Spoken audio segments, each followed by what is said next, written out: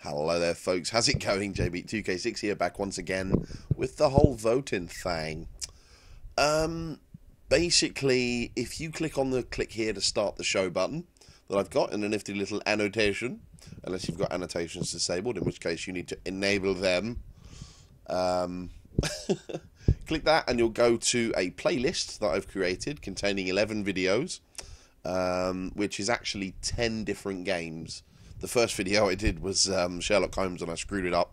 So I had to do it in two parts. Not fun. Um, but there are 10 games to choose from.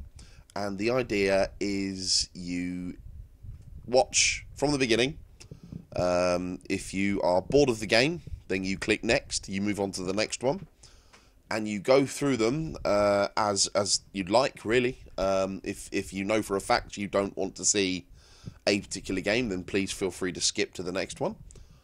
Um, but once you've decided on what game you'd like to see me LP next, what you do is you type the word vote in block capitals as a comment underneath the game of your choice in the comments. Okay, simple as that. The one that gets the most votes will get played. Uh, the one with the second most votes will get played afterwards. Or maybe become a side LP or something. But yeah, um, whatever game you guys choose will get played all the way through.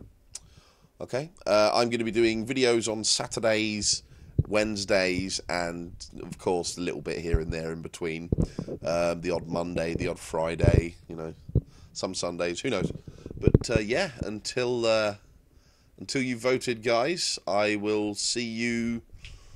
Hmm, when will I speak to you next? Uh, yeah, I suppose I'll, when I'm recording the winning game. So yeah, I'll uh, I'll speak to you when I'm playing the winning game, and I look forward to seeing what you guys choose. See you later. Bye.